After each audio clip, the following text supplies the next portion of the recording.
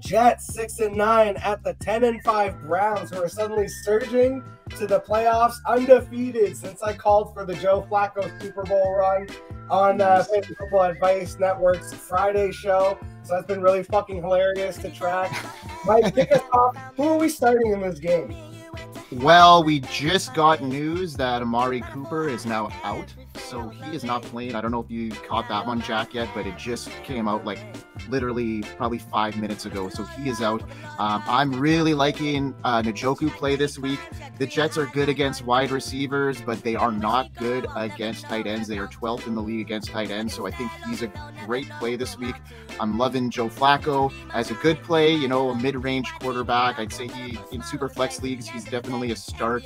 Um, you know, he be pushing to start as a one quarterback if you're really desperate, but uh, Njoku is my play here, um, and obviously Breece Hall.